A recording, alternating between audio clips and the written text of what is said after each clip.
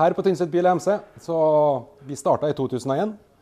Vi hadde en hobby hvor vi drev med snøscooter, motorsykkel, ATV, ja, fiske, båt. Det var liksom alt sammen.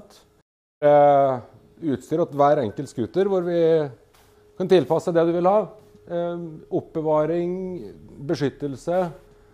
Det er alt mulig til scootere. Dette er bare noe av det vi har. Vi har masse oppi eh, på lageret. Vi har eh, bukser, jakker, hjelmer i med visir, vanlige crosshjelmer, briller i, med vanlige. Vi har med varme i.